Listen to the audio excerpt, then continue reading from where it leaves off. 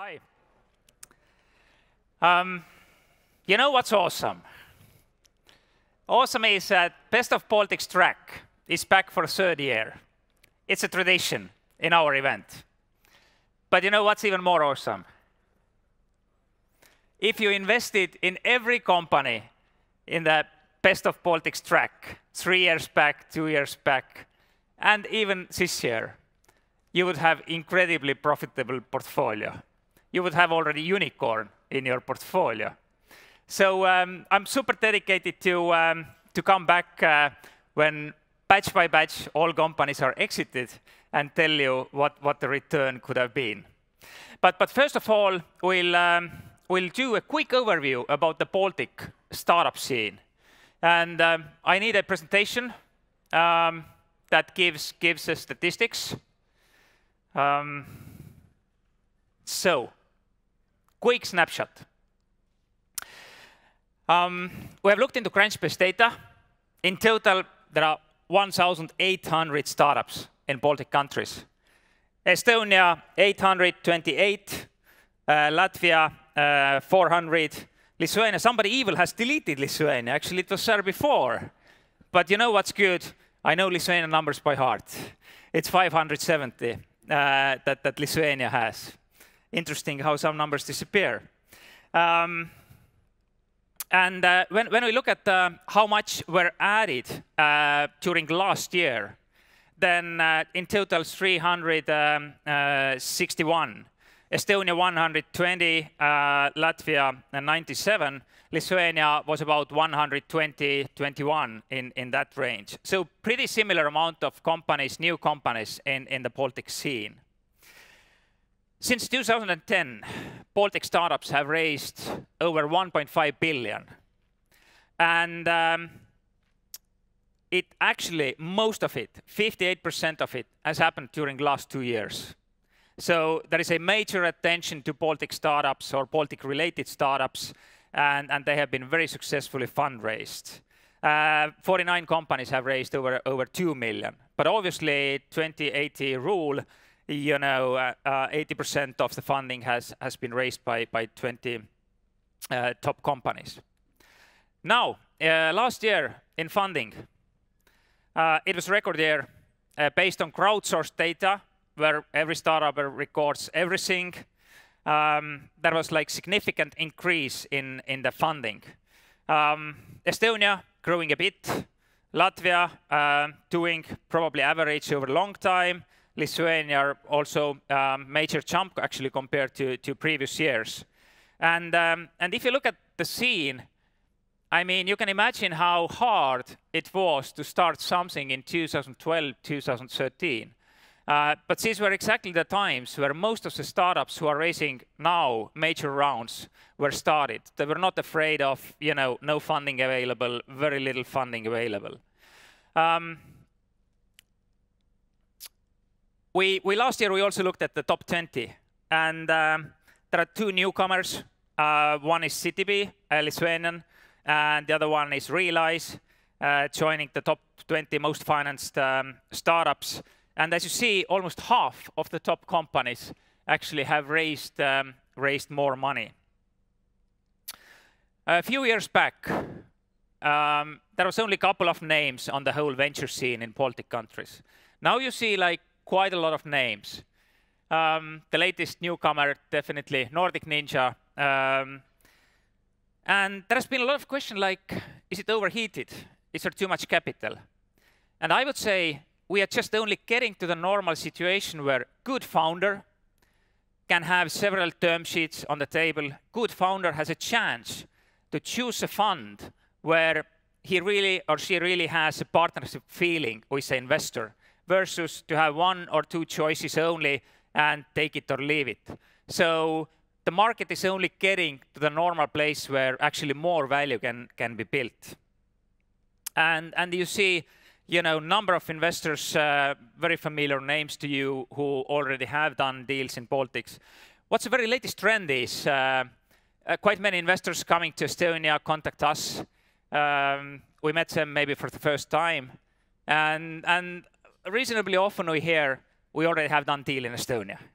So um, I think next year will be will be many more new funds uh, doing doing deals in Baltics because the inbound interest is is really significant. Can we have exits? 34 exits since 2010. Estonia 18, Latvia 11, Lithuania 5, and uh, we, we, see very, um, very, very uh, large strategic companies being interested in acquiring Baltic startups. And um, our focus in Karma Ventures is very much based on deep tech and, and strong technologies.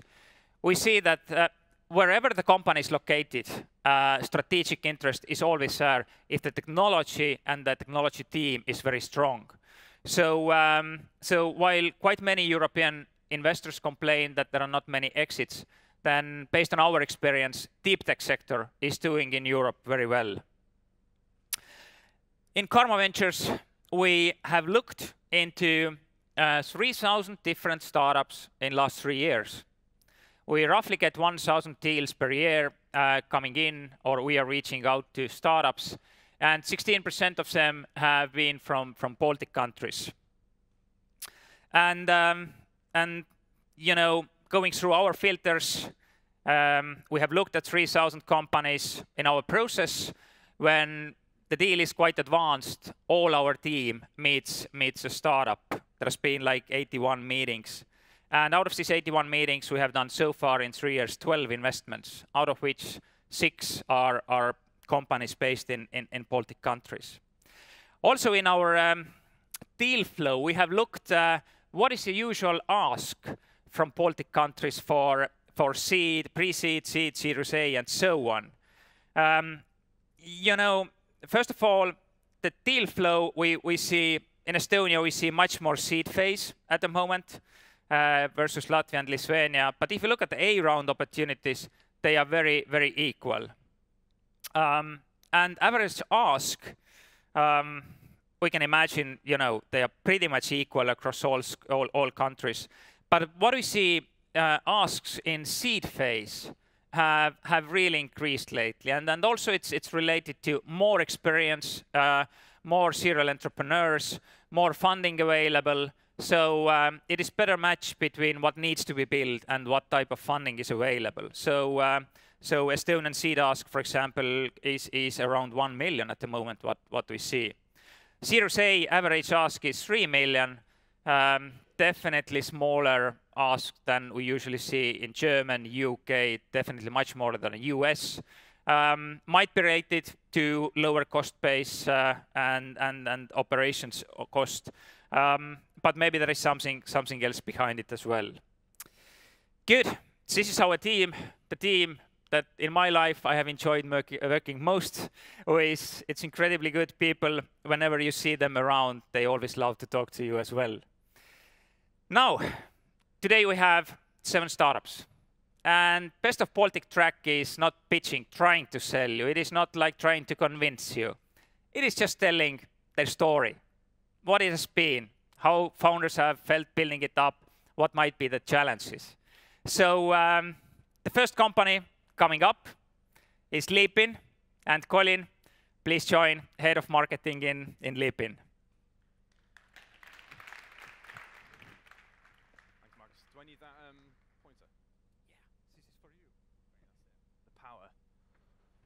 There we go. Everyone hear me okay? Awesome. Hi, guys. I'm Colin. I'm the CMO at Leapin. Um, I just want to talk to you about a quiet revolution that's currently happening that's going to affect all of our lives over the next decade. Um, but before I get to that, I want to share two things with you. First thing is um, the two fears that I have, right? So the first fear that I have is my mother saying my full name to me. That terrifies me. And the second thing that I'm afraid of is a room full of people staring at me just after lunch. So you're going to have to bear with me. Um, I want to make a confession. I am not a founder of LeapIn, um, but I have founded a technology company before, about five years ago, and I exited last year. So I know the pains of growing a business. I know what's required there. And it's hard, right? Growing a business is very, very difficult. It's difficult when you're at five people. It gets easier, but it's still really hard when you're at 50. But I want you to now imagine what it's like to run a business completely on your own. So a little bit of audience participation here. Can you put your hands up in the air if you have founded a company or you are currently running a company? There's got to be a few of you in the audience, yeah? Okay, great. I want you to keep your hands in the air now if you're doing that or you have done that completely on your own. That's quite a few. Okay, so you're not alone. There's 162 million solopreneurs in the US and the EU. That's right now. That's people who are doing business on their own. They are building business on their own. We look to service around 40 million of those globally. So those are people that are doing professional services. So they're fr freelancer website designers to um, translators, they're contractors to consultants. It's a massive, massive market. In fact, I want you to think of it as a, as a nation, a virtual nation. And if it was a virtual nation, it would have an economic output of around 2 trillion euros. And it's growing three times quicker, three times quicker than any other nation on earth. And the great thing here is they don't have the advantage of being able to create babies. If you're part of that nation, you're someone who decided to become part of it. And the reason you've decided to become part of it is highly likely because we're becoming more entrepreneurial. Evidence of that really clear. Solopreneurs going up, number of traditional workers going down. In fact, by 2027, in the US, there'll be a seismic shift in how the economy works. There will be, for the first time, more people running their own business than working for someone else. And that's huge. It's massive, but the opportunity is great, right? This opportunity is huge. But businesses don't really care about solopreneurs. They either don't care or they don't know what the opportunity is. These people feel misunderstood, underserved, undervalued. And most of them are willing to pay, 90% nearly, significantly more for people to build products for them. So there's a huge opportunity. And that's the reason why LeapIn was created to be this operating system for those, those people, those freelancers, those contractors, those solopreneurs, those business people that are really driving a change, a silent revolution in the economy. We want to service that digital nation. And we do that in three ways. So we deal with the hard stuff, the bits that nobody wants to do, because nobody ever decided after doing their taxes or completing a VAT return or putting in expenses to, you know what, I'm going to quit my job and start my own business. They do it because they love doing what they do and they provide value to their customers. So what we try and do is take away those hassles, those hard bits. Company formation, tax and accounting, and banking. We roll them all into one platform, and we do that for you. So that you don't have to engage with government. You don't have to think about it, and you save a lot of money and you save a lot of time. Now, we build this at the moment on the uh, Estonian e-residency platform, which means that those 40 million customers that we talked around the world can become e-residents, and from anywhere in the world, doesn't matter where they are, they can service their customers. Nice and simple, nice and easy. In fact, we have a brand promise. Our promise is that we will do it 10 times quicker for half the price and will be just as trusted as what you're currently using today. And from that promise, we've developed a monthly recurring revenue of around 150,000 euros. So when we say 10 times quicker, what do we really mean? Well, it currently takes the average person two days to do their administration. Okay? It's not the thing that they do their business for. We'll cut that down to two hours. Two hours a month will save you. That, that's what you'll do, saving you two days a month. Now think about what you could use that time for. Growing your business, servicing your customers, spending time with family, chilling out on a beach. And our customers are from all over the world. Admittedly, we have a large group in Europe. That's because we're based here.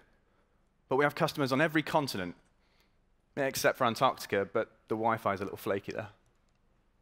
And our customers love what we do. We have an NPS score of positive 71. We get two marriage proposals every single month. It's strange, but people do it. So we're fulfilling that element of trust and exceeding it. And just to recap on what we just talked about solopreneurs, what does that really mean? These independent people that are working in a market growing three times quicker with an economic output of 2 trillion euros spread across every country in the world. This is what we're servicing. And this is the virtual nation that we're building at LeapIn. Thank you.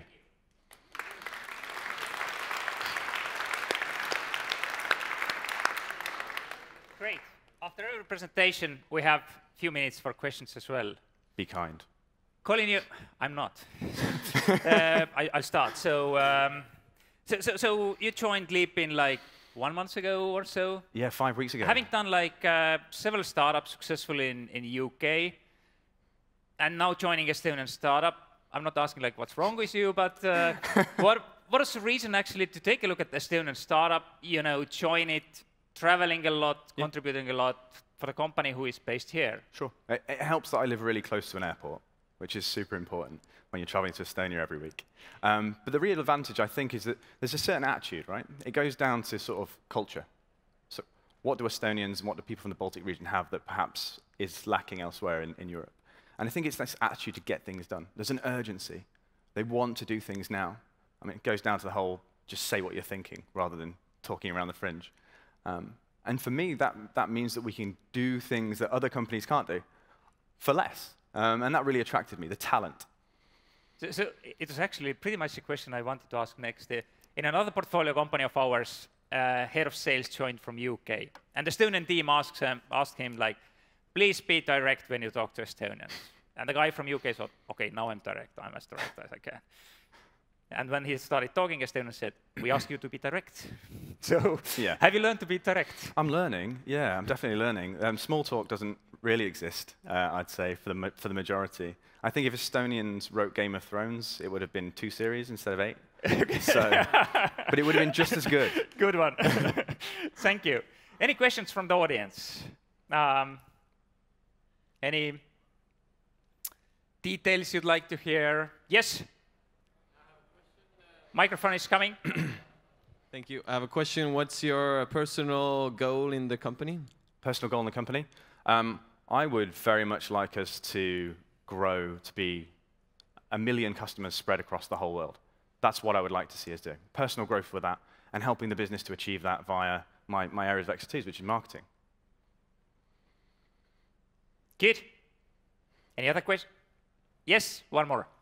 I'm a happy LeapIn customer for almost two years now, and I've, I've seen something new on this uh, very last spreadsheet, the Republic of LeapIn, uh, where you showed all that flags, and that uh, raised a question in me. Uh, are you doing some steps towards bringing all these customers also not only to you, but together? Potentially, yeah. I mean, without going into too much detail, um, at the moment we have so many customers from so many different countries with all very different needs. But one thing they have in common is they want to grow their businesses and they want to they want to work in the simplest way possible.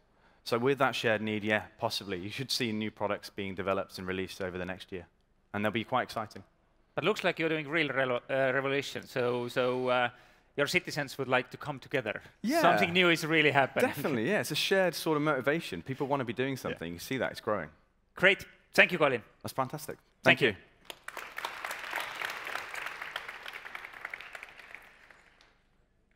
So um, technology is many fancy things, but technology in agriculture, um, that's something that is fairly new thing in, uh, in, in, in the venture field. eAgronom, Stenver, please.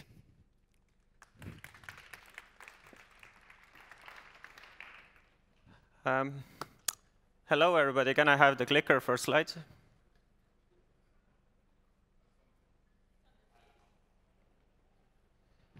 Uh-huh.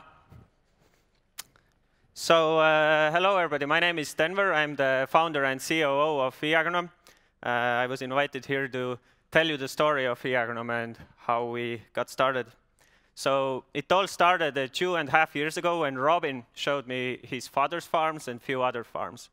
Now, farms these days, they're real businesses. They have real business problems. They need to manage their employees, financials, logistics, everything that a traditional business needs to do. But the problem is they don't have good tools to achieve those goals. They do everything on pen and paper. In Poland, 70% of Polish farmers use pen and paper for everyday farm management. So that means that they actually spend most of their time gathering the data and doing data entry instead of optimizing their business processes. And the business process optimization is left to somebody who's called an agronomical advisor. But the agronomical advisor is basically just a fertilizer or a chemical salesperson his salary is tied to depending on how much he sells, not how profitable the farmer is. So naturally, they push farmers towards the maximum amount of yield and revenue instead of the maximum amount of uh, profit. And this cuts into the farmer's profit margin, and it also pollutes the environment a lot. 50% of the Baltic Sea pollution, for example, comes from farming. and it's purely because of our fertilization. So yeah, we decided to make a SaaS product for the farmers to really help them out, uh, help them with their business, spend more time with their family, and uh, also, very important for me personally, help the environment through the farmers. So we made a, a software for them. Software that in the winter, can you imagine what the farmer does during the winter? A good farmer. He probably goes to Bahamas, right? But after Bahamas, he actually starts to plan the next year, and he also analyzes the previous year. So we provide them with tools to achieve both. We, they, through our uh, application, they can deal with logistical planning, uh, fertilizer, chemical, financial, crop planning, everything that you need, and they can also compare the fields. Uh, now, can you guess what the farmers do during the season? Uh, raise your hands who uh, has worked in a farm. There are a few hands. Very cool. So during the season, farmers work on the fields. Who would have thought, right? So we help them with tracking their employees, uh, tracking tasks, inventory, and also do all sorts of government reports, which uh, could have taken up to a month if they were doing it with pen and paper, but in our application, it takes one click. So yeah, we started. In six months, we got to 70% of Estonian market. Two and a half year late, uh, years later, we're in nine countries, from Canada to Poland. There's over a million hectares in our system, uh, half of which are paid. That's larger than some countries in the world. So we're managing more area than uh, some countries. Uh, and yeah, uh, there's also a link there, but unfortunately, I can't really click it on this presentation, so I took a picture. That's uh, an image of many of the fields that you see in our application. So even though Poland might look like it has less than Estonia, it actually has about the same. It, they're just more spread out. And yeah, as you can see from the numbers, it's the nice hockey stick growth. We really worked hard to get all the sales and the machine running, and we have found a model how to approach farmers. Now, this is one of the most difficult tasks to do. The reason why many companies who are very similar to us is that they don't find a way how to get farmers on board. Farmers are very conservative with technology. Uh, some other achievements include that we are being taught in universities in Czech, Latvia, and Estonia. We're the, in 2018, first half, we were the second fastest growing startup by number of employees. Robin was Young Entrepreneur of the Year, etc. And our goal is to become an Amazon for farmers, a single place where farmers can buy everything and create the biggest farming union in the world to give them back the purchasing power. And basically, uh, help them with AI agronomists and do all sorts of AI predictions. There's lots of cool stuff that's already out there and that we can help them as well because we have exclusive data that nobody else does. We know when seed is put to the soil before anybody can see it from the satellite, months before it happens in real time. And using this data, there's some really awesome things we can do that will completely transform the uh, industry that's so far been very traditional. And finally, we have done case studies. And this is very important for me because personally, I care more about the environment. That's the most important thing to me. And we have case studies showing we have already reduced fertilizer chemical use. Uh, we help farmers save tens to hundreds of thousands of euros. And we help them spend more time with their family. And finally, last Christmas, I called through most important customers we have, and they said, many of them said, uh, that they can finally sleep at night. They go to work after 12 to 16 hour days in harvesting season, and everything is done. They don't need to worry about work, no paperwork. Thank you.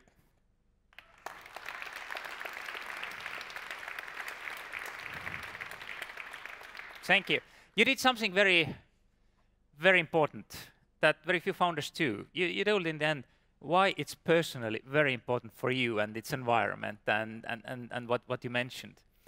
But the second thing is what is very important. What you dream about. What it will be in three to five years. How do you imagine your company, what it has achieved, and, and what it has achieved, why that is personally important to you as well. Mm -hmm. So what do you dream about?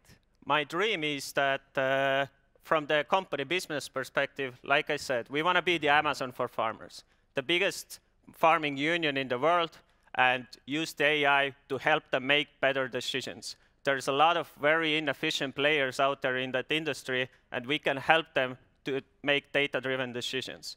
But through that, uh, I want to make sure that our soils stays sustainable because right now the erosion of the soil is a huge problem for our society. Uh, we don't know that because we don't see it with our own eye, uh, but actually every year the yields uh, of the soil go down and down globally, and uh, we lose good soil every year. And that's a huge problem, and it will bite us in the ass. You're really on a mission. We really need to wish you will, we will do great. But how is it to sell to farmers?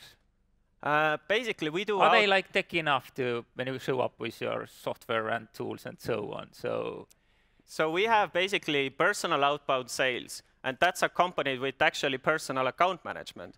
We actually go and visit farmers and send account managers to them to give the training. We do group trainings, we do individual trainings. It depends on the farmer how advanced he is and everything.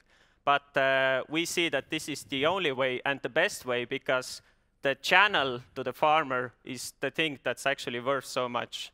Uh, after we have built this personal relationship, we have a very strong channel to the farmer, and every hectare that's in the ground is worth around 500 euros every year, and there's 700 million hectares of cereal land.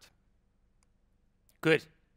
Any questions? Yes, immediately. Uh, you said the farmers are very conservative. Are the Lithuanian farmers are even more conservative that they are not use your system? Uh, yes, Lithuanian farmers are definitely even more conservative. Uh, some will say that maybe Polish farmers are even more.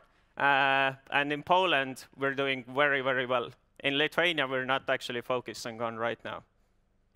We do have uh, customers from there, but our focus is currently on Estonia, Latvia, Poland, and Romania. And, and do you need to change the mindsets or the first thing what you hear is, you know, we have waited for you for, for a century. So, so, so are you like have to change the mindsets or? Actually, like one of the biggest reasons the customers buy to us, uh, well, not one of the biggest, but many customers do, is they say that they know their son is going to take over the farm, mm. but unless the farm is in the computer, the son will never take it over. He will abandon the farm because no modern person, young person wants to work with pen and paper anymore. So a lot of the older generations simply try and push themselves to put it to computers simply to make it more appealing for their, uh, well, heirs, right? And uh, yeah, it's, uh, they're just waiting for somebody who will come with a convincing and good product and uh, convince them to start using it. So your marketing qualified leads inc includes criteria, does the farmer have kids? That is higher probability, right? That's very hard to measure. Any other questions? I promised yes? I take a selfie, so sorry. Please do, while microphone is going. Thank you. Hi. Uh, what kind of cooperation do you do with the local governments, if any, and how do they support you? Uh, so it depends from country to country. In Estonia, we're actually straight in a PRIA project, and uh, Estonian uh, PRIA, which is the fund that uh, government organization that gives out like grant monies and uh, punishes if they violate rules. They are building an uh, electronical field diary, and we are there to consult them with that. In uh, Lithuania, for example, we made a deal with the government that uh, they, uh, like in there, the farmers need to send a signed document to the government in order to get their field shapes. Uh, and we basically made a deal that uh, we can, they can do it through us. And, but the funny story was the first field shape that they had to send to us after the deal was through we were waiting for a week and then we sent them an email like, where is it? Like, uh, it should be here already. And they replied, oh, we already posted the CD and it's on the way. So then we were like, you can send it an email as well. It's only one megabyte. hey, actually, you took very Estonian selfie.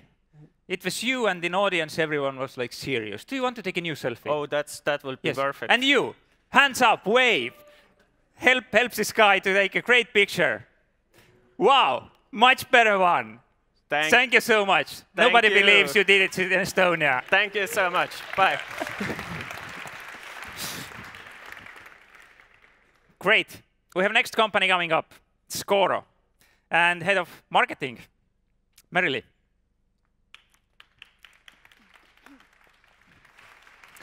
Hi, everyone. I hope you can hear me all right.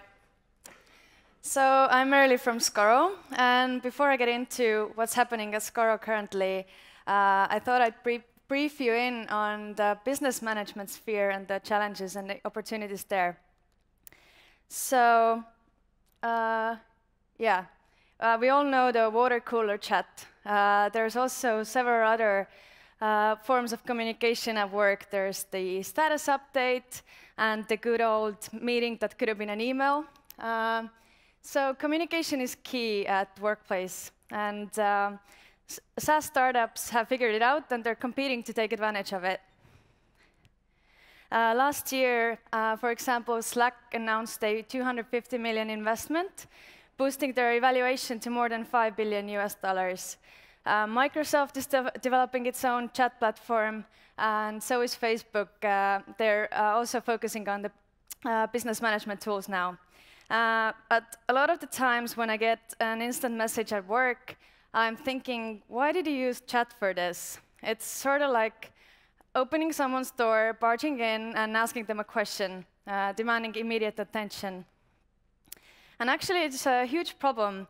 Uh, a typical worker gets 11 minutes between each interruption, and it takes them 25 minutes to get back to the original task they were tackling. And this rapid toggling between tasks um, actually decreases the quality of work delivered as well. Um, another um, study showed that the test takers, when they were bombarded with different tasks, actually decreased the quality um, by 20%. Uh, this means that in theory, a B minus student will become a failure. And there is no escape from this technology, really. Uh, according to Gartner, 75% of companies uh, use some form of um, instant messaging at work. And in third of these cases, this is actually sanctioned by the company itself. Um, Slack reportedly adheres to the mission, work, har work hard, then go home. But they have nonetheless actually created the opposite. Uh, it's more like work half distractedly, then keep doing that no matter where you go. Uh, I think we all know the anxious feeling of when you return from holiday. You check the workplace chat, and there's a ton of messages that you need to catch up with. It's, uh, I think workplace uh, chats are making us um, passively addicted to, the, uh, to work, basically. And I think employers and employees alike are starting to understand that actually it could be doing more harm than uh, good for the companies because if we're always available, uh, when can we get any work done? And if everything's a high priority, then nothing is really. So our mission in Scoro is actually to tackle this problem.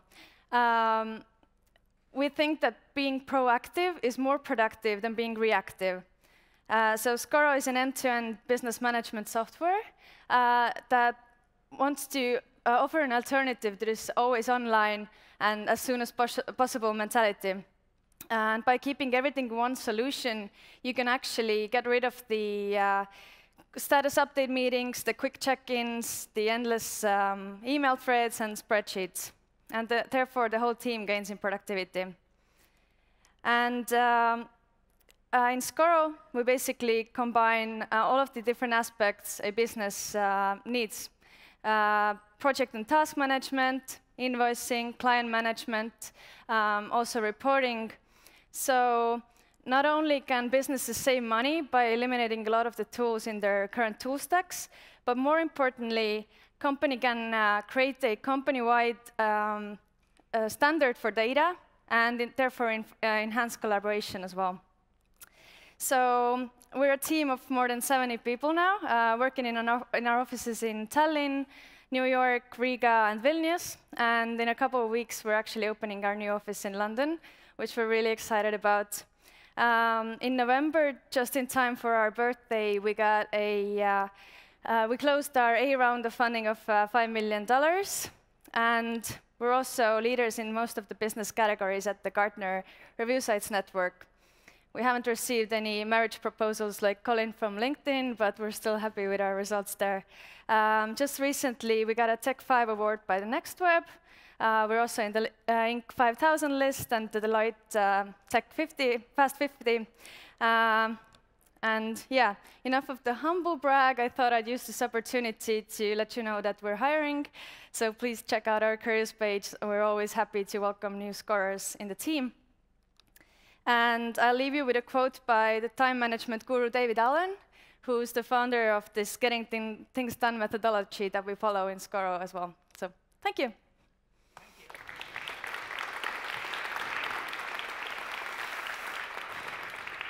Do you actually know how to avoid all these email, huge amount of emails and chat notifications after coming back from holidays? Uh, I think it takes a strategy. So you need to, like, after coming back from uh, the holiday, you take a week to, like, catch up with everything and I then get to for you. work. Yeah. Don't go to holidays.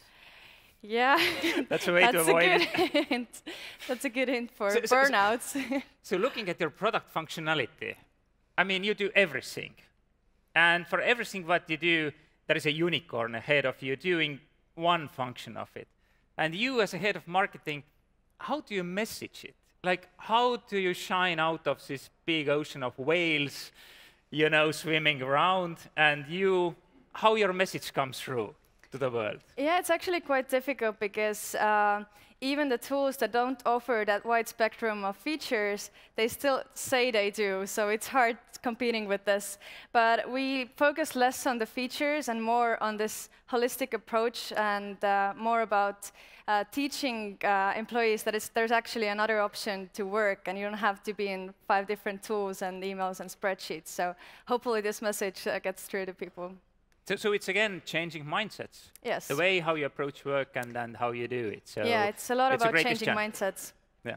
You're doing also something, uh, you know, which, which, which is very crucial in, in, in- in, in startup lifetime. So you have many customers from US as well, but you, you have started to build the US team. Mm -hmm. So tell us about like, when did you figure out now it's time to build, you know, the US team who is selling in the US, take the cost, take the risk if it works out or not, and what's your kind of, you know, initial results, comments, lessons learned? Yeah, actually, whenever we enter a new market, such as London for now, uh, and also when we started in the US, uh, we never go there without doing our research, obviously. So uh, in London, we currently have already 130 customers. Uh, that's our proof of concept there. So we know that it's obviously drop in the ocean, but when we have a, place in, uh, when we have a team in place there, we can. There's a huge opportunity there. And uh, as for results, uh, of course, when you have um, consultants on spot, we, when you have onboarding on spot, it's much easier to approach the uh, customers and es especially enterprise customers as well. So it's there's a lot of lot to do with uh, this um, proof that you have like the team on spot there. I know also you have incredible team culture. We have tried to hire people from you. um, nobody wants to leave. That's What's true. the secret source of it? Um, I agree with, uh, I don't remember who said it before, that hire on values and everything else has to be diversified. So we hire a lot on values and um, uh, we never take anyone who's excellent at their job but doesn't fit the culture. And when I say fit the culture, I don't mean that we all look alike and act alike. It's more about the values mostly, yeah. Thanks. Any questions? Yes? Mike is coming. Yes, go to Italy. When? Good question. uh, well, you can actually use Scoro from Italy right now. So uh, come on together. Good. Next target market in place. Any other questions to Scoro? Yes? What has been your chief new customer acquisition channel? uh, sorry, can you repeat? Your chief customer acquisition channel, what has been? S- online, offline? Um, it's mainly so basically.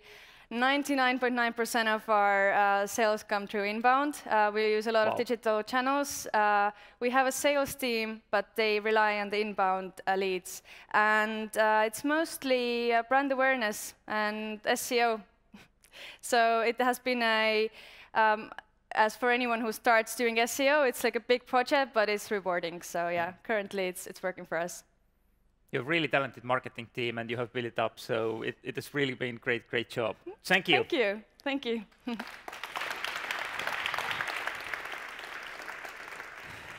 and next one, we have Giraffe 360. Mikus, your story. Hey.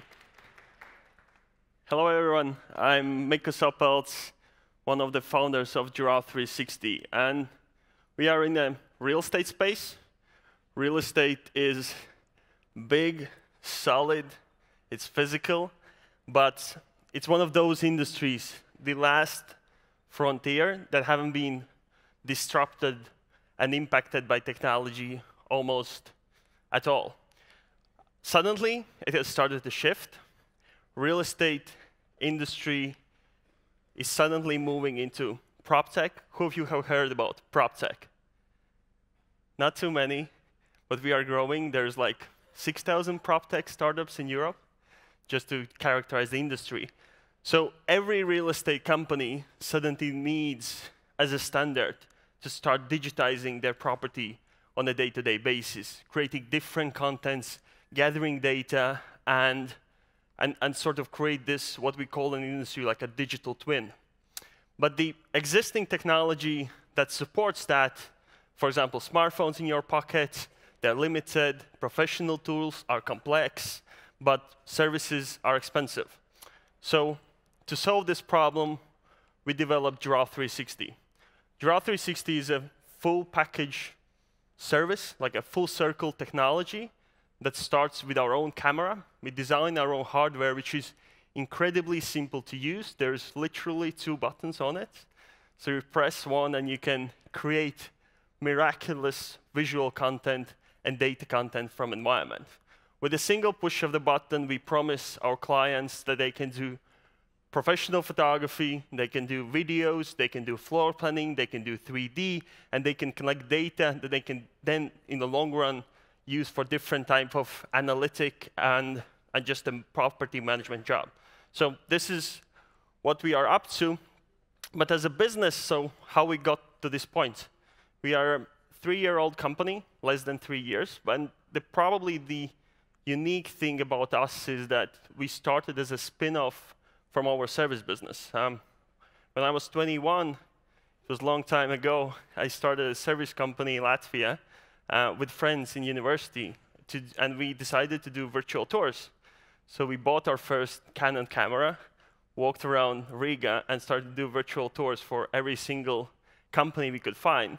The idea behind my first service company was that if you could see property online in a good shape and form, why you would want to waste your time on going on like the first visit. And I thought it's so obvious that everybody will want it. Eventually, the business grew in five-star hotels, like in Tallinn, we service Schlössle, uh, Hilton, Radisson, and different like high-level interactive technologies, and grew more and more around these super high-end tools. Like we were among the first ones to do VR apps and stuff. And at one point, we started to think, okay, how do we scale this? Because the service business is becoming more like day-to-day -day individual process. You can't scale it to the global domination. And we as ambitious young guys, we wanted the global domination. So Giraffe 360 actually more started as a strategy. Um, so we sat down, it is a spin-off from our original business with the goal, how do we actually convert this need and how do we make it in a product that can work globally? And for the strategy, the first job for us was to choose our target market. And for example, hotels, they only do new photo shoot once a seven year. So there's a low retention. We wanted somewhere where somebody every day needs to capture visuals, and we chose real estate agencies. Why agencies? Because there's roughly 200,000 real estate agencies only in Europe. On average, they onboard five new properties every month. So they are going out and doing at least five photo shoots and two to three floor plans a month. So that's like more than 12 million photo shoots and, and more than 3 million floor plans that are done only here in Europe. Um, we chose this as our industry. And on a product level, we actually never wanted to build our own hardware. That wasn't, wasn't the idea. The idea was let's take an iPhone and turn into this device that can create all these beautiful contents. We spent six months. Uh, after six months, we sat down with my brother, who's my co-founder, and he said, we have to build our own camera. How hard can it be? And like, it took me half a second to say, yeah, like such a rookie mistake. uh, building hardware is slightly harder than we expected. Um, but our goal wasn't not to find the easy way, how to build a business. Our goal was to how to build one scalable way. We had tested every single tool in the world. We knew there's no one out there that can do this. Either we're going to just sit here and wait, uh, or we actually go and, and, and, and get things done ourselves. And now, once we are in the game, we actually love it, because in the global world, we have 2.5 competitors.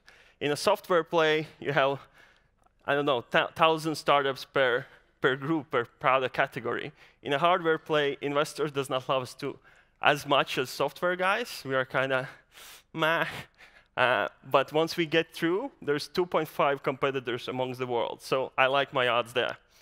And as a business model, we chose a subscription because I strongly believe that you have to align your value with your client's value because the place where you're going to be charging money for your client is the place where eventually your business focus will be. So we never wanted to do like this one, one deal type of business. And we chose a, a subscription. We give away free hardware, give away free access to the whole package, and, ju and just charge a monthly or annual subscriptions to our clients. And on execution, two things I think we've done so far in these three years, which are maybe slightly off the standard. First, uh, when we started, we understood we have to build this, this new thing. Like, it would be hard, and we didn't went and create a nice, beautiful office somewhere with a ping pongs and beers. We actually created boot camp, 250 kilometers from Riga, where we go on a boot camp rhythm. You, the previous colleague spoke about communication. There's no communication allowed. We just sit down to execute tasks, and we spent, I think, in a year in a boot camp rhythm with all, like less access to the outside world. Another thing is we wanted to be in the market and not to scale from, from Riga, where we are originally from. And before we even had a product, I started to fly to London every second week. So once we are ready, we can actually scale already from a big market. So three years, what we have done, we legitimately have built the best property capture device. Uh, we believe this is the highest quality tool in the market. It's incredibly simple to use. It captures property in 270 megapixel reflection. We scan accurate floor plannings. We have built in a LiDAR laser. We gather tons of data, and we are able to give this, ca this camera to anyone in the world and say that this is the best thing on the planet. Um, second thing, we have grown to 10 countries. Uh, we service starting from small real estate agencies somewhere in Ireland, Watford, up to the biggest real estate players like BNP Paribas in France and in, in, in like Audi in Germany uh, and, and a lot of other companies. We have raised up to this point 1.6 million. Our lead investors were Coca Capital for the seed round, 500 and 1.1 million was this year announced, which was led by Change Ventures. Thank you guys for the money. If others wants to give us your money, please, you're welcome. Happy to take it. Uh, as a business, uh, now we are really focused on establishing our subscriptions, but we are also collecting tons and tons of data and, and, and building a lot of value through that data. So real estate is this physical, hard space, and we hope to be the company that makes it more digital and more accessible on our screens. Thank you, guys. Thank you. Did, did I spend too much time? No worries. All good. All good. Impressive progress on, on the hardware side. Like, it looks good. It's I remember really the first good. ones. it's really they were different. Good. Yeah, yeah. It's like we, and the thing we did different on the, on the hardware, we actually build them in our office. We have five 3D printers. We print most of the parts. And in two years, we have launched three different models. So yeah. we distribute, let's say, first 10 cameras to our clients, and since they work on a subscription, they don't have to be perfect. And we just monitor what doesn't work, and as soon as one thing we don't like, we just, we just change it, and we send to the client a new, new camera. That has allowed us in two-year time, once we started to deliver, be really quick on next iterations, yeah. Uh, which usually is not the case. Like, uh, yeah. Uh, yeah. So, so uh, my job and passion is to be investor, but investors sometimes are like such a parrots we repeat the same thing, and all investors are telling like hardware is hard and not willing to invest. So, uh, so, so, so, how was your like fundraising, and and and what's the feedback for hardware piece, and and you know what was wrong with change that they didn't bother about hardware? Yeah, like the hardware is hard part. Like I don't know which part is easy. so, so, and, and I, I, don't think that we That's are true. in this to be, e to, be, to be easy. So we never looked for the easy way out. But to answer your hardware question, I think probably from 10 investor meetings, nine are strikeouts only because, oh, it's a hardware there. Uh, and it's, it's not even deeper look, uh, we measure ourselves as a SaaS business. We have a great SaaS metrics. Yeah. Churn rate is zero. Once clients start use our hardware, they haven't almost never canceled our service. Uh, we have a high profitability, the, the lifetime value. So when you dive into these SaaS metrics, you actually see that, that the business has a massive potential, and Makes we sense. are competing against 2.5 companies in the world. Uh, I think, but it's super hard to get past that first stage where you legitimately start to evaluate the business based on the potential, just because the notion that you can't invest in hardware, it's, it's like mantra, and stop doing that. like it, it, yeah, from one hand, it actually helps us because we know that there will not be next camera company. Yeah. Uh, and, and that helps us, uh, our, our odds to succeed. But your business is still like pretty unique in a sense of having software, having hardware, and, and, and it's, it's, it's kind of, so you said investors who would like to invest, you would take the money. But if you had to take advice as well, if you had a choice to pick an investor who has certain experience, what kind of experience you would look for? Wow, million dollar question. Um, probably growth, um, global. Yeah. Uh, we will be a global business. Uh, we will operate in almost every continent in the world and, and we want our investors to help us access a other capital that will infuse right. that growth, and and still B2B world is really contact driven. One introduction, like BNP Paribas is the, the Europe's biggest commercial uh, commercial agency, and we got it through one introduction. Uh, but so it's yeah. So those are the things that I'm looking for. Great. Any hard questions to the company that has hardware? Yes, there's one uh, just microphone is coming up uh, immediately, so we can hear as well. Hello. Do you create 3D models? Yes, like we, we now can create a point cloud, scan out a point cloud, and, and then we are looking how to export different geometries from those three from those point clouds and those measurements. Like not, it's not yet available on the functionality, but that's the next thing we are working on. Thank you. Any more questions? That, that will be needed for every architect and property management company. Yes. Uh, hi. So do you also gather real estate price information? Yeah. no, but we can merge that data. Uh, what we gather is uh, we gather the inside of the properties, which actually doesn't have a. There's not too many things that get inside of properties because Google Street View doesn't get in there. So there's a lot of unique information of how the indoors of the world looks but uh, price is something we can't. We can visually assess how many, I don't know, on average, um, uh, light bulbs are in the buildings and who has produced those light bulbs using image recognition, which is one of our most important uh, algorithms that we are working on because one is the visual information, but then through image recognition is understanding what is in that building in. And then it becomes a really powerful tool. So you could build an AI which, based on the picture and model, can say, this apartment is a value of. Basically correlating what's inside, location, and so on, you can go to pricing. Uh, pricing, yes, but even more importantly, when you manage, let's say, 10,000 properties, and you want to know what is how many you how many TVs you have installed. Simple questions. Like nobody has a database because buildings are changing, mm, right? Uh, and and and and it and and nobody keeps the track of detail. So for me, I think it's pretty simple way to go in a property, push the button, and this is how you capture all your database, and then whichever information you need to access, you just search for it. I think that's even more important that we can give to our clients. Great, thank you. Yep. Thank you, guys. Thank you.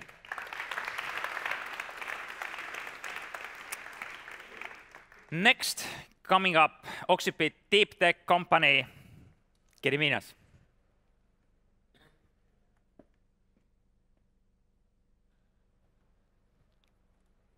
Hello, everyone. So can you see the slides?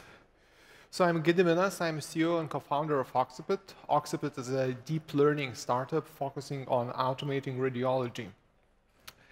And uh, so recently I have fallen victim to uh, mobility investments. And by that I mean I have fallen from an electric scooter. And uh, what happened uh, was I, I, went to a top trauma center in, in Lithuania and I had an x-ray taken of my arm and uh, the radiologist didn't see anything wrong with it. So luckily, uh, the traumatologist uh, disagreed and I had to do a CT examination in addition to that, uh, thus correcting the diagnosis. So, and uh, who is to blame here, right? Is it electric scooters?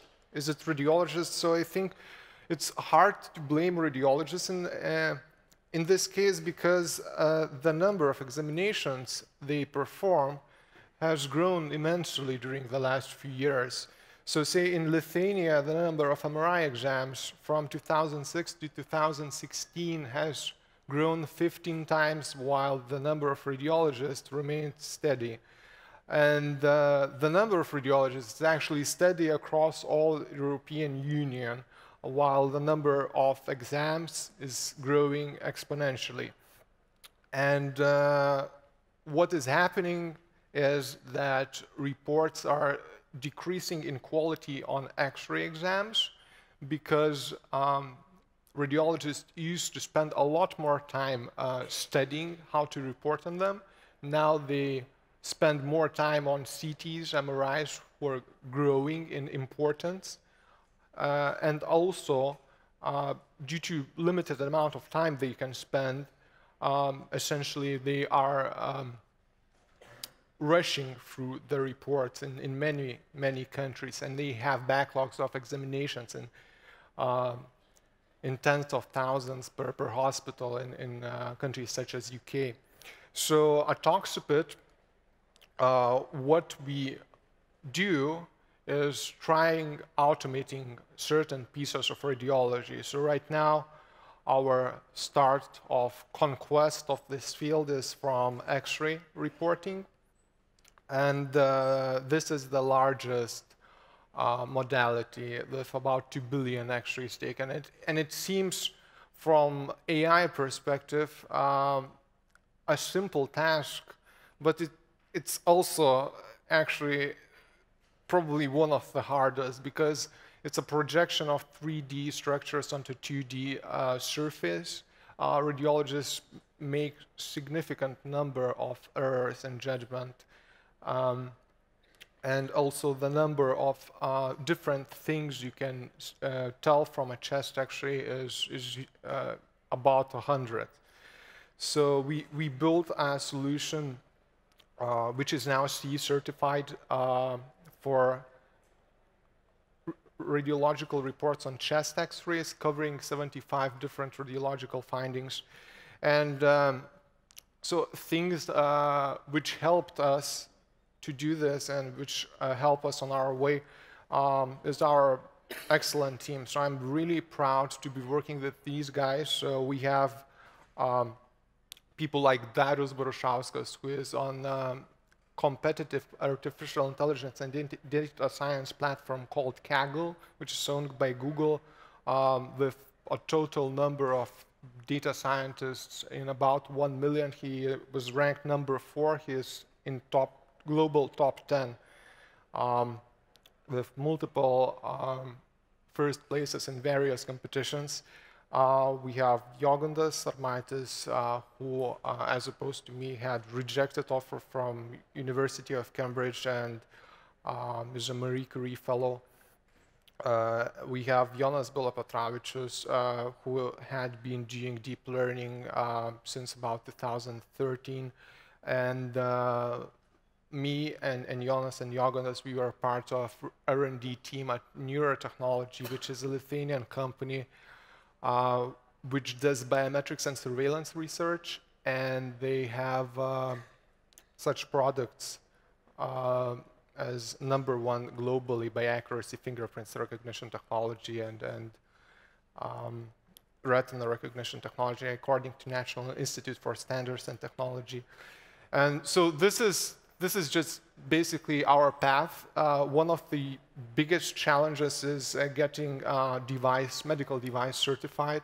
So, sorry, am I taking a bit long? Um, time is up very soon. Okay. Maybe just a quick last slide as yeah. well. So. Yeah, so what I'm really proud about is that we didn't know how to do a CE certification, and everybody told us it's really, really hard. But when you focus on the hard thing and don't question it, you actually get it done. And we have quite a bit of competition. Uh, this uh, industry is heating up, uh, as you can see from the number of investments.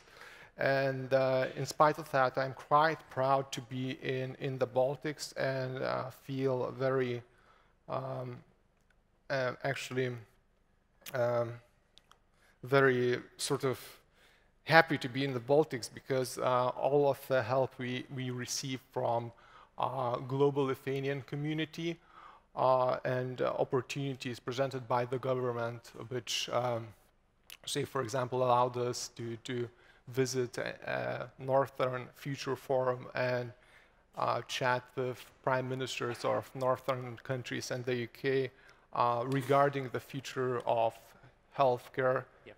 And uh, yeah, so really glad to be in the Baltics. Um, I'm sorry, so I'll have to probably last, stop here. last slide is pretty cool, actually. Okay, so yes, it? yes. And since you haven't seen the product yet, so this is our early iteration of the product, and you can see an X-ray of uh, Tony Stark from Iron Man. And uh, actually, our solution here detected sternum wires, which is actually quite uh, close to what you could see, although it's uh, not really uh, a, a radiological finding you could find in a natural setting. So Thank you very much. Do you know what happened in the end game with Iron Man? Uh, Not a spoiler here, but... but... Yeah, I know, I know. Could, could you save him with your technology maybe last minute? It's sad otherwise. Okay, let, let me think about that. I, I, I, think uh, hopefully in a few years, not yeah. right now. Great. So, so, products like that, quite often, uh, you know, doctors are thinking you are trying to replace doctors. Uh, yeah. Do you get that feedback? And then what's your answer? So yeah, so we actually got that feedback, but there were two segments of doctors giving that feedback. So one segment was upset and unhappy about uh, this. The other segment was really happy about us replacing them because, I mean, they have a huge field of radiology to work with, and uh, X-rays is not really the most interesting part for them. Right. It's opportunity, actually. Yeah. Great. Any questions from audience? It's fairly complex technology. And, and you know, Baltic startups, um, there's something they say differently than, than usually you hear from US or UK. We use quite a lot of word trying. We are trying. In UK, in US, we are doing. but Baltic startups are trying. And that's why maybe we are hard to give up. We try until it works. Mm. So how has been your kind of technology development? Is it like trying, or it has been really smooth way, you know, to get to to the solutions? Um, no, I, I think it's it's trying. It's a lot of trying and getting exactly. things right or wrong, and then iterating. Although that's quite difficult to do in healthcare. Yeah. Yeah. So. Good. Thank you. Thank you very much. And our last presentation is coming from Lithuania as well. CG Trader, Arita, please.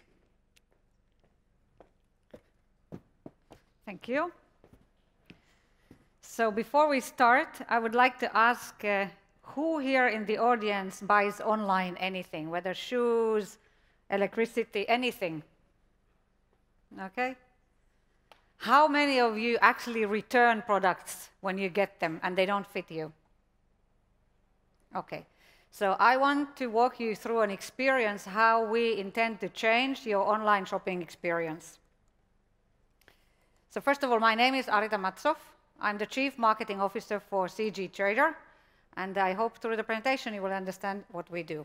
So a short introduction as a snapshot of what we do so that we have a better communication throughout the presentation. CG Trader can transform your products into realistic 3D models for immersive AR and VR experiences, allowing your customers to immediately try your products in their home.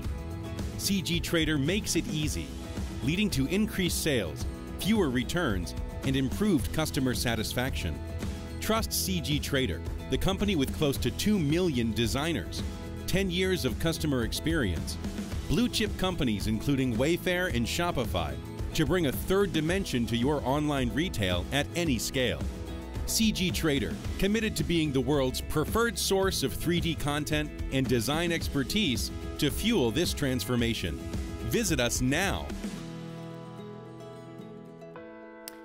So CG Trader, we have two business lines with our traditional marketplace where 3D designers can upload 3D models and content for others to actually download and buy this content. So the people that use 3D models and our customers are animation, gaming, and 3D printing, among others. And the other side, another segment of our business is e-commerce, which is fairly new, and the, the presentation today is focusing on e-commerce.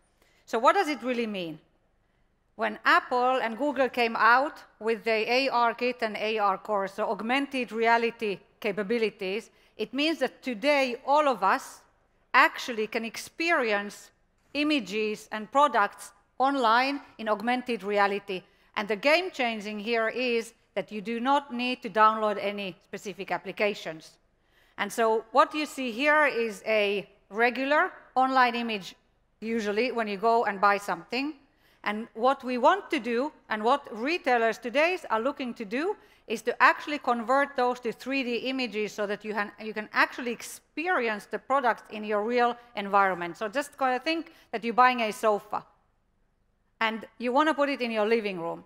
When you go to the shop, how can you actually vision the end result in your living room? And with this 3D model, you can actually, on your mobile, put it in your living room and see in the eh, environment the size, the color, how it fits, and if you actually want to buy it. And when I asked you if you're interested, you know, how many people of you return products, the likelihood when you buy this is much smaller. So why is this important for retailers and why are they looking to actually apply augmented reality to the online shopping experience? It's because it increases sales. One of the things is that it increases sales, but the other thing is as well that it reduces the return rates. And the additional thing is that doing 3D models is much cheaper than taking photography of on all the products. So just imagine IKEA. What happens with IKEA is that uh, uh, they have tens of thousands of products. That imagine if they have to take all of those to a photography studio and take photos of them in different angles, in different positions, in different colors and shades. It's massive in time and it's very expensive. But doing it in 3D models is instant. And so we also learned that the first adapters to actually turning their online shops to, to 3D uh, and AR experience are uh, the home decor and furniture shops. So why aren't they doing it? Because it's still, it's complex. And uh, you need specific skills to do it. Uh, you need special uh, hardware and software, as well as uh, it's very time consuming, like I told you, and to scale is very difficult. So imagine if you have 20 products is one thing, but if you have 10,000 products or 100,000 products, to scale and get those all designed in 3D is very uh, uh, um, problematic. So like I told you, our original business is the marketplace where we have about 2 million 3D designers. This is our community that can work with all the retailers that are interested in uh, changing their products into 3D models. And it's a growing community we have established this in the last uh, about eight years. And like I said, we have about 8 million, uh, uh, 2 million um, 3D designers. So what's the opportunity? The opportunity, we have selected a couple of uh, names here, I think familiar to all of us. and just thinking about their products and SKUs, how many there are that actually should and could be converted to AR experience. So this is a 100 million uh, uh, opportunity just in the furniture. And we, when we take this and uh, convert it to um, uh, what it means to us as CG trader, so you take the 100, 100 million that I just showed you, let's say it's about $100 per, per product. It's a 10 million opportunity uh, just there in the uh, furniture and home decor category. There's, of course, many others, and uh, no doubt we're going to move there as well. So we believe we're in a very good position, also from the management perspective. The company has 70 people. The, the uh, headquarters are in Lithuania. We have a small subsidiary now in Israel. It's a combination of people that come, like Marius, our uh, co-founder, who is actually a 3D designer himself. We have Dalia, our CEO, who has been uh, many years in the tech startups. And we have uh, Maureen, uh, who is our VP uh, sales, uh, 20 plus years in sales. I just joined three months ago with a 25 plus years of experience in marketing, in different executive marketing roles and others. So we feel very uh, comfortable that we can take uh, this opportunity and add and extend our business from the marketplace also to the enterprise. And of course, we are backed by uh, Karma, Intel, and Practica investors. Thank you very much.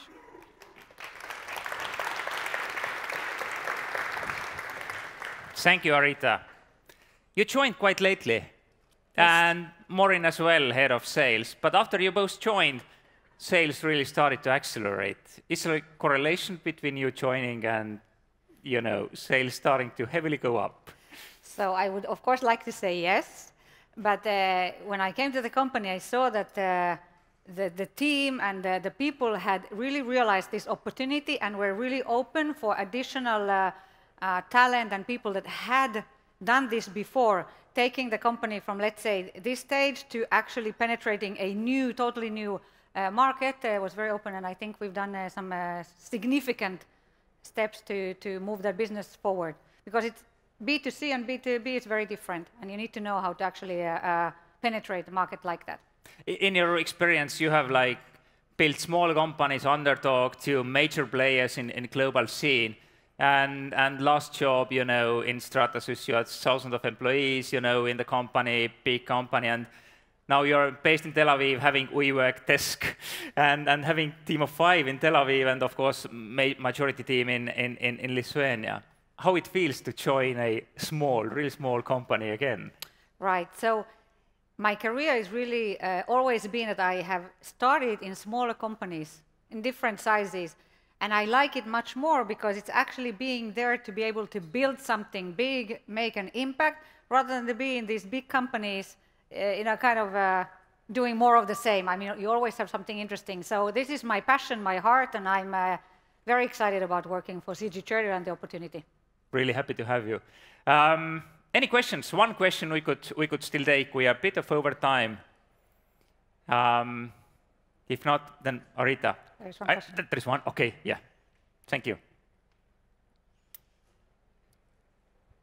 So what is CG Trader's chief competitive advantage that would prevent other from stealing your market share eventually? So first of all, I think we're very lucky that uh, it's a green field. And we were the first one to realize this opportunity. And uh, we don't see the others that are actually players like in the marketplace, not yet in this uh, B2B. So we have a um, first uh, come advantage for sure. And what we're doing uh, a lot is making sure that we actually shape the conversation what this market and industry should look like. So we take part in all these uh, uh, retail uh, augmented reality uh, events. We have one coming end of the month where we talk to top 50 US media and the retailers themselves, and we take keynotes to make sure that we, we shape the conversation. Thank you. Thank you again. Thank you.